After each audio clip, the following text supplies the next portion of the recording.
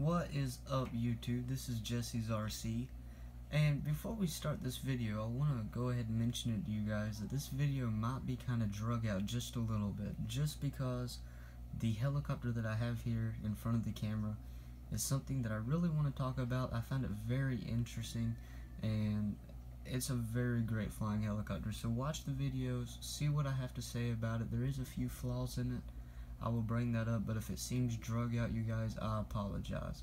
So, let's go ahead and start the review. What I have here is a Black Spider XT Tactical Wireless Indoor Helicopter. Now, I, I've been looking at this, and I actually flew it. I tested it out before I'm going to do a review on it. And I have to say, the whole carrying case thing that they have going on that you can just carry the helicopter in, that's very nice. I actually tried out another helicopter that I already have. Uh, something similar like a little Sky Rover or something that's a standard size will fit into this case. So if you don't want to fly this helicopter but you have another one, it will fit into this without a problem. Uh, it says on the back of the box, uh, easy to fly, two channel infrared helicopter, built-in LED light. Uh, it does, the controller doesn't include the charger, it did not come with the USB cable. Uh, let me see if I can get that glare off for you guys. There we go. I apologize about that. Uh, it is a two-channel helicopter. That's mainly what I'm going to be talking about in this video. Because uh, for two-channel helicopter, it's about the best you can get. In my opinion, it's the it's the best one that I have flown that is two-channel. Uh, it has uh, a built-in LED light. They're very bright. I'll demonstrate that in the video and the charge time is around 30 minutes and flight time is about 7 minutes. It's a 3.7 volt 150 milliamp battery. So uh, with that being said, let's go ahead and come back around to the front.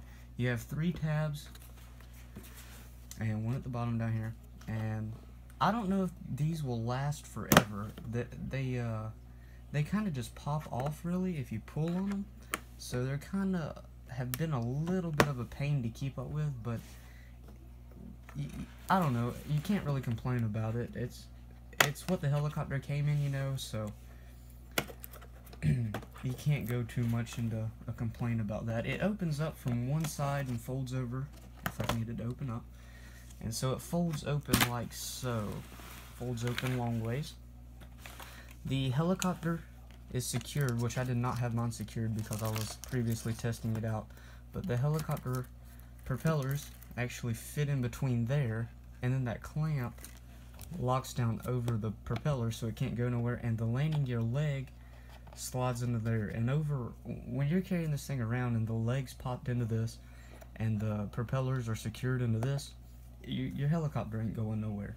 So you don't have to worry about that. You got your controller over here and then it came with two extra uh, blades and a back rotor if you guys can see that I apologize about the lighting. Uh, it's not the best lighting today. I'm trying out a different spot.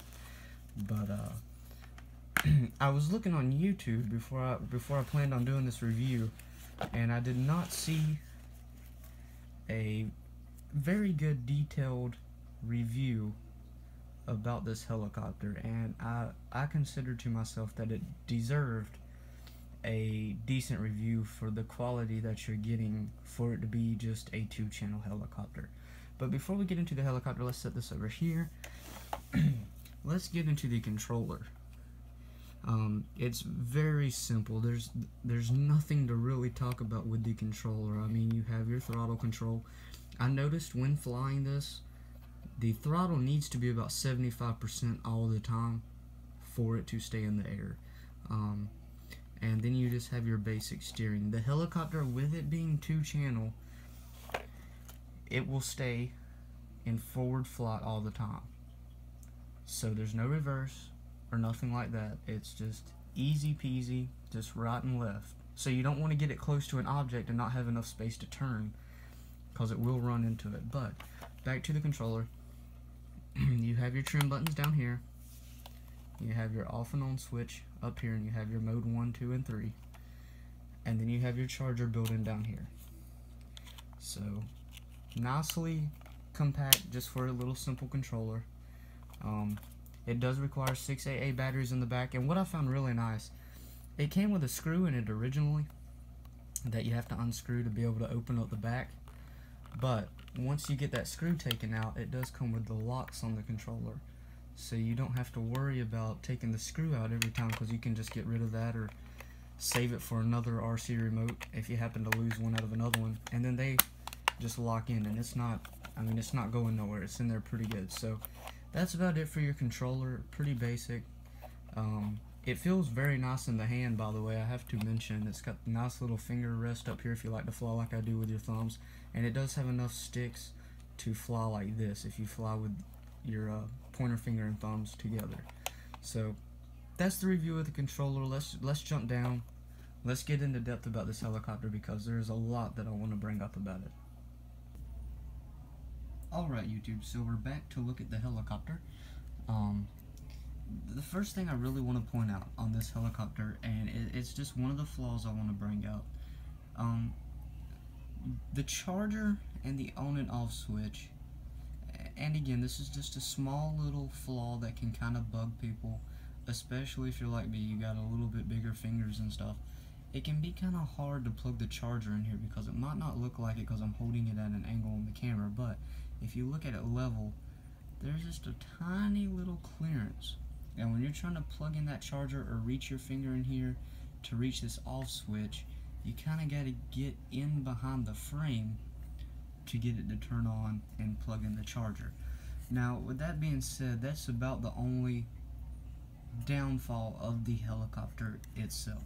Um, I want to point out with it being two channel, the tail rotor blade is completely fake that there is no power, there is nothing needed to move the helicopter forward or reverse, and your steering is actually done up here by just a little tilt right or left in the main blade section. But what I would like to mention about this, this tail rotor is pretty cool because usually on the helicopters that you get nowadays, they're up here on top to make it go forward or backwards. This looks very scale and when I say scale, I mean like a full-scale helicopter. It looks very scale when it's flying through the air because the main blades generate enough lift to, or uh, enough airflow, enough airflow I should say, to make this spin. So that is constantly moving while you're flying. It, it looks very cool in the air, I have to say so myself, when I flew it to do a test run on it so I can review it. I really enjoyed just the looks of this because it makes it look like it's a four channel or something like it's a little bit more functional than what you're actually flying. Now with that being said, let's go ahead and talk about the way this two channel helicopter works because I'm not sure if a lot of people really think about this or not but it's it's really genius if you think about it so let me focus the camera and see if I can get some better exposure right here this helicopter is perfectly designed since you have no control of forward or backwards. All you have is steering and throttle. It is perfectly designed for the helicopter, for this, the blades to be centered to where the helicopter always has a little bit of forward flying motion. Now, uh, I'm only bringing this up is because I want to go into detail because not a lot of people think about what go into this. But for a helicopter to fly, you know, it has to be balanced. But with you not having control of forward and backwards constantly, all you got is throttle, you know, pretty much, and steering right and left. You have you don't have yaw or nothing like that. You just have left and right steering and forward. And uh, this helicopter is perfectly designed and very stable in the air where it is at. It couldn't have been no better. When you take this thing off, it'll go up and then it'll fly forward and believe it or not you'll see in the flight test that it has pretty good speed forward it's not too much and it's not too little it's a very enjoyable flight um, with it being balanced like it is and everything's balancing just on these blades you know when you're flying it, it it's hard to understand how the helicopter just doesn't spin freely well that is what your trims are for on your controller and I will bring this out now this, even though it's a two-channel helicopter, a lot of people believe that the less channels an RC device has, the easier it is to fly. Yes, that can be true but it can also be false. It depends on the aircraft you are flying and how touchy it is, how sensitive, and you you really need experience. I would actually recommend just going with something like a little three-channel helicopter, something that you have a bit more control of, cause it's just as easy to fly, if not easier, than this thing. And the reason I say that, getting to my point now, when you take this off, everything's perfectly balanced on that center blade. It requires a lot of trim to get this helicopter balanced in the air to keep it from doing that when you take it off. Now this does require a little bit of experience and fast movements on the controls until you can get it trimmed out to keep it from flying into anything. It can seem a bit of a pain, but once you get used to it, this helicopter flies flawlessly. And I, I think I have covered everything that I wanted to point out on this helicopter. It's very smooth design. The LED lights on the front are almost blinding bright. It, it's ridiculous. I I could understand maybe going with one on the nose as bright as they are because these two together will drain your battery a little bit faster but they are very bright and, and this helicopter really it, it doesn't need to be flown outside the littlest breeze with you only having control of the steering and throttle if wind hits this and you're flying forward and it's just the slightest breeze, this helicopter is going to start drifting backwards. And this helicopter, if it manages to spin itself around, it'll just keep going until you kill the throttle or it'll fly into something. It is by no means an outdoor helicopter, so don't think you can get this and go outside and fly it. Uh, even if the wind's not blowing, if there if the AC kicks on in the house, it will affect this helicopter. No ceiling fans, nothing like that. But overall, it it is the best two channel helicopter that anyone can own. Um, if I ever come across another one, I will purchase it from uh, a dealer if I find it somewhere. It is very smooth flying helicopter and I enjoy it a lot. But I think that's enough said about the controller and the helicopter itself. I've covered what I really wanted to. Let's do a uh, let's do a flight and then we'll come back and if I missed anything, I'll say it before we sign off. Here comes the flat video. Alright YouTube, so one thing I want to point out before we actually fly is how quick this helicopter connects. Uh, there's no safety feature like you don't have to push the throttle up or down for it to bind. E even though that's kind of a safety issue with maybe like younger people or somebody inexperienced, just remember to keep the throttle down because it only takes a split second for this helicopter to bind up to the controller. So let's turn the controller on that is how bright the LEDs are. I mean, that is insane for this, this little two-channel helicopter. But I'm just going to flip the controller on, and it is bound. I mean, there is no delay at all, so always be sure to keep this throttle down. But let's set the camera up, and let's get a flight video of it, and here we go. Alright, YouTube, so I think I'm going to hand launch this helicopter. Uh, just because, like I said, when you take it off for the first time, it likes to spin until you get it trimmed out. So I'm going to hand launch it and get it trimmed out, and maybe I can keep the helicopter in the video. It's kind of hard to record with an iPhone, so you guys have to bear with me. But here we go.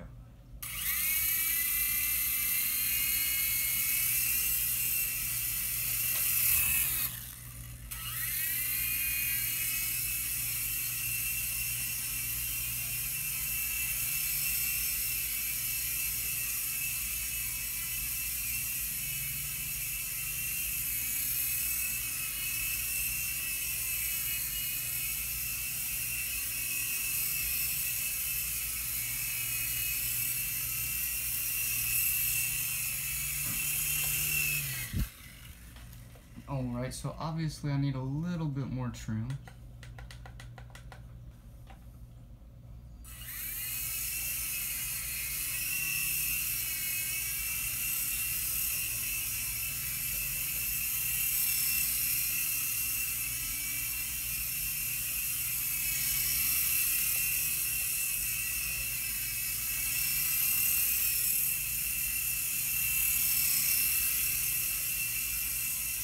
You can see how the helicopter is wobbling in the AC a little bit. So since we got some AC, I think that's going to conclude the flight video, but you guys, even though I can't get it that good in the camera, this thing flies sweet once it's trimmed out. It's definitely not for a beginner pilot. uh, after flying this a few times, you need a little bit of an experience, uh, experience flying these just so you know how to work the controls quickly. But it's got plenty of power, plenty of forward speed. Let's go back down to the table and have our final thoughts. Alright YouTube, so for this review I'm going to rate this helicopter a 9 out of 10, if not a 9.5. And I say that just because once you get it trimmed out and you have a bigger area than what I have, like if I'm flying this in the living room, it is much more easier to control. It, it flies very great. So overall, at least 9, 9.5 for this helicopter, and I rarely don't rate things this high but this is a very good quality helicopter for what you're going to pay for on Amazon, somewhere around like $17.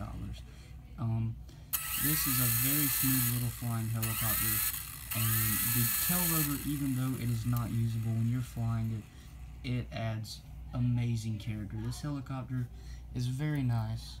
Uh, be perfect for a gift for somebody with just a little bit of experience it is tough, so I reckon if you get it for somebody that don't have as much experience, they shouldn't, it, it should have some durability to it. The blades don't fold in as much as a, as a standard helicopter would, so you might have some uh, blade breakage issues, but the, the kit comes with a, a whole another set of blades, so you guys, this is Jesse's RC. If you haven't already, please remember to like and subscribe to my channel. I could not do this without you guys.